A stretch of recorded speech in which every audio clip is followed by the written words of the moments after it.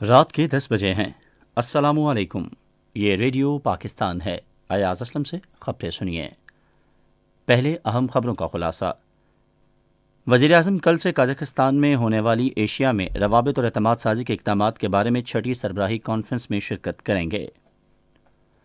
वफाकी काबीना ने आज वजी अजम की जेर सदारत इस्लामाबाद में अपने अजलास में मुल्क में तोानाई के तहफ़ के लिए तवील, दरमियानी और मुख्तर मुद्दत की हमत अमली तैयार करने के लिए एक कमेटी तश्कील देने का फैसला किया है। भारत के नाजमुल उमूर को आज वजारत उमूर खारजा में तलब करके कश्मीरी हुरियत रहनुमा अल्ताफ़ अहमद शाह के जेर हिरासत कत्ल पर पाकिस्तान का शदीद एहतजाज किया गया। बरी फौज के सरबरा ने कहा है कि पाकिस्तान इलाकाई उमूर में बरतानिया के मतवाजन किरदार को अहमियत देता है और हम मुश्तर मफादात पर मबनी ताल्लुक में मजीद इजाफे के लिए पुरम्मीद हैं। और अब खबरें तफसील के साथ। वजी अजम शहबाज शरीफ एशिया में रवाबित और अतमाद साजी के इकदाम के बारे में छठी सरबरा कॉन्फ्रेंस में शिरकत कर रहे हैं, जो कल काजकिस्तान के दारकूमत आस्ताना में शुरू होगी। काबीना के अरकान और दूसरे अला हुकाम भी दो रोज़ा कॉन्फ्रेंस में उनके हमरा होंगे। वजी अजम जुमेरात को एशियाई कॉन्फ्रेंस की अफ्ताही नशस्त से खिताब करेंगे। वो मुश्तर चैलेंज से निमटने के लिए एशियाई ममालिक में रवाबित, अफाम व तफ़ीम और ताउन को फ़रोग देने के हवाले से एक मुनफरद फारम के तौर पर कॉन्फ्रेंस की अहमियत भी उजागर करेंगे। वजी अजम इलाकई और आलमी अमूर के बारे में पाकिस्तान के नुक़ नज़र पर रोशनी डालेंगे। सरबराही कॉन्फ्रेंस के मौके पर वजी अजम एशियाई कॉन्फ्रेंस के रुकन ममालिक के रहनुमाओं से दो तरफा मुलाकातें भी करेंगे, जिनका मकसद खसूस तजारत सरमाकारी और तोानाई के शोबे में ताउन को फ़रोग देना है। वफाकी काबीना ने मुल्क में तोानाई के तहफ़ के लिए तवील, दरमियानी और मुख्तर मुद्दत की हमत अमली तैयार करने के लिए एक कमेटी तश्कील देने का फैसला किया है। यह फैसला आज इस्लामाबाद में वजी अजम शहबाज शरीफ की सदारत में एक अजलास में किया गया। वजी दिफा ख्वाजा मोहम्मद आसिफ की सरबराही में बिजली की वजारत की जानब से तोानाई के मैार और तहफ़ के लिए इकदाम पर अमल दरामद के लाहे अमल का जायज़ा लिया जाएगा। वजी अजम ने वजारत बिजली को हिदायत की है कि वह बिजली चोरी, लाइन लॉसेज और उनके हल के हवाले से आइंदा हफ़्ते तफसली ब्रीफिंग दे। वफाकी काबीना ने स्वात में एक स्कूल बस पर फायरिंग के वाक़े की भी शदीद मजम्मत की। काबीना ने भूटान मालदीप नेपाल, रवांडा सिल्वाकिया और बेलारूस को भी कारोबारी दौरों के फहरिस्त में शामिल करने का फैसला किया ताकि इन ममालिक के साथ कारोबारी ताल्लुक को फ़रोग दिया जा सके।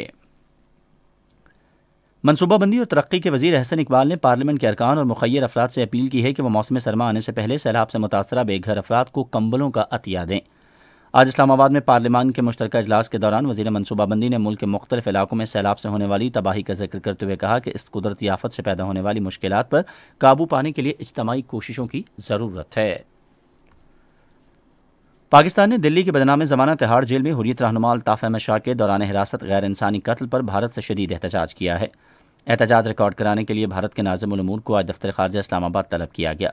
इस बात पर अफसोस का इजहार किया गया। कि अल्ताफ़ अहमद शाह की तेज़ी से ख़राब होती सेहत पर पाकिस्तान की गहरी तशवीश और उनके साहबजादी की जानब से अपने वालद की सेहत से मुतल भारतीय वजी अजम को ख़त के बावजूद भारतीय हुकूमत मुकम्मल तौर पर लाताल्लुक रही। पाक फौज के बारह मेजर जनरल्स को लेफ्टिनेंट जनरल के अहदे पर तरक्की दे दी गई है।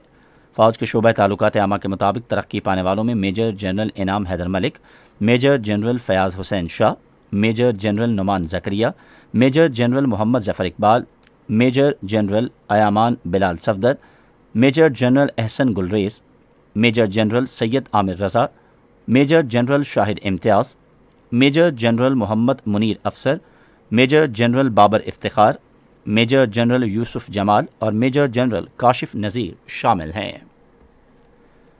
पाकिस्तान में तैनात बरतानवी high commissioner doctor Christian Turner ने आज रावलपिंडी में बरी फौज के सरबरा जनरल कमर जावेद बाजवा से मुलाकात की।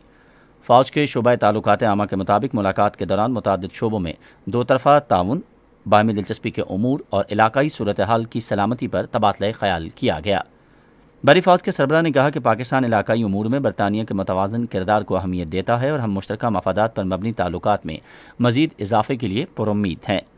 हाई कमिश्नर ने इलाकई इसकाम के लिए पाकिस्तान की कोशिशों को सराहा और तमाम सतहों पर पाकिस्तान के साथ ताउन बढ़ाने की यकीन दहानी कराई।